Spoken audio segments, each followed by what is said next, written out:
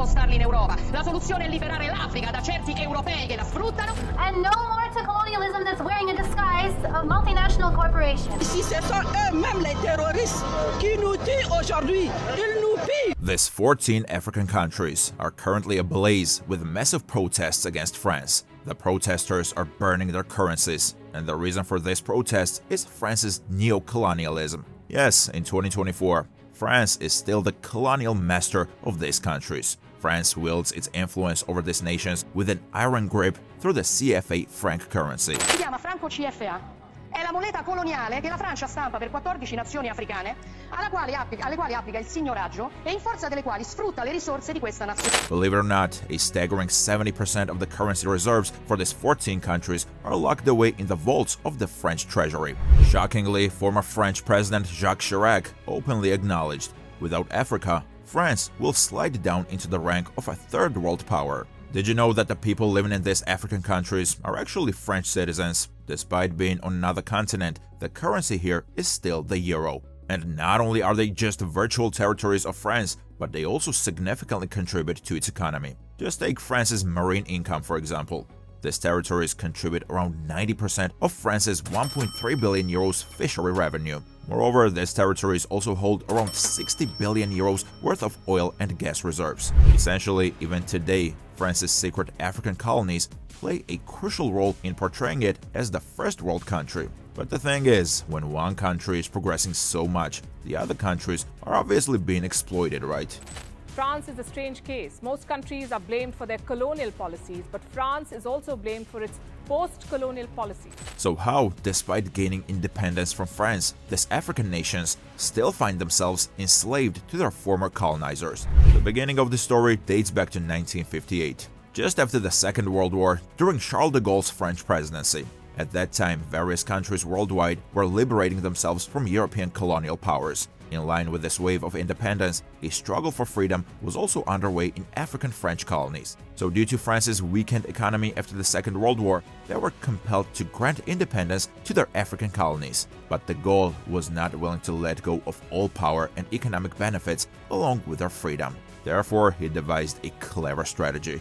He virtually granted them independence but retained economic control in his hands. He stipulated that in exchange for their independence, they must maintain economic ties with France for their development and adopt a special currency system known as CFA franc. So, under the guise of introducing a new currency, France cunningly imposed biased restrictions on these African countries. These restrictions heavily favored France in trade deals and economic matters. This marked the inception of what we now call France's monetary neocolonialism. But behind France's actions, there were two hidden agendas, one political, the other economic. Starting with the political agenda, France did not want any obstacles against its neocolonialism. But of course, some countries such as Guinea and Togo understood France's hidden agenda and when the leaders of these countries demanded full independence, they were removed. Rebel forces were armed and trained to wreak havoc strategically, plunging these countries into chaos. But it didn't stop there. France went full throttle, flooding their economies with fake currency to destroy their economy entirely. And when that still wasn't enough, they resorted to the ultimate act, the assassination of the presidents. The best example of this is Togo. And let me tell you, this isn't some hidden conspiracy.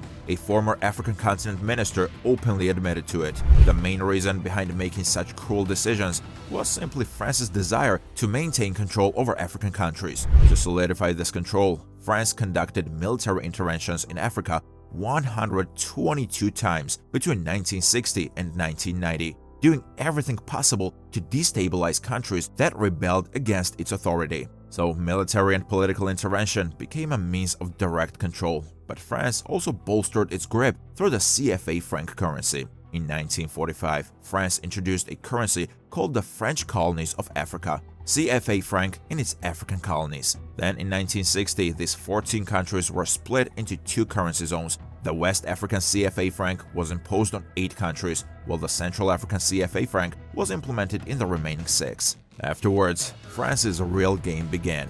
While providing new currencies to African nations, it ensured that control remained firmly in its own hands. France, playing very cleverly, had deposited the 100% foreign exchange reserves of these 14 countries into the French treasury. It means these countries had absolutely zero importing capacity, but in 2005, France reduced the deposit limit to 70% to maintain a good image in the world. And to date, the situation remains the same.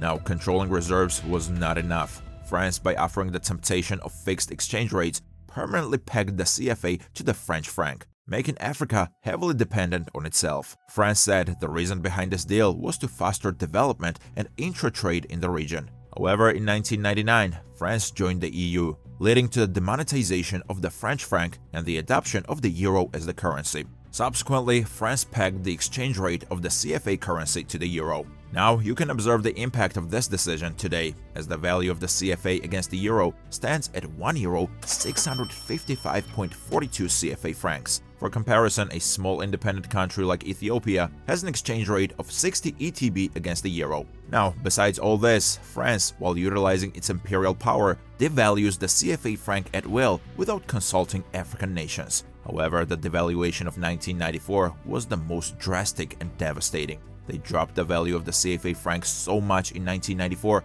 that people's buying power got cut in half overnight. The main reason behind this devaluation was the franc fort concept. According to this concept, France had to strengthen its currency, the French franc, in the European market for which it sacrificed the CFA franc by devaluing it by 50% of its value.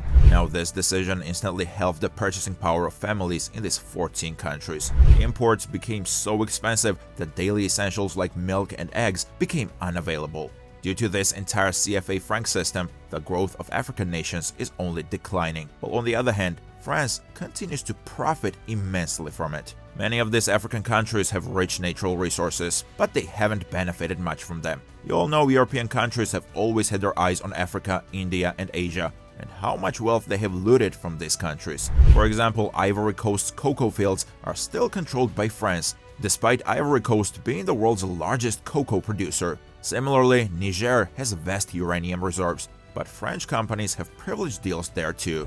There are many stories of such exploitation, and some even happened in recent years. Italian Deputy Prime Minister Mr. Di Maio publicly accused France of using its African reserves to pay off its public debt. Although France has denied such claims in the past, the evidence of its economic growth tells a different story. In 1960, France's GDP was $62 billion, but now it's nearly $3 trillion.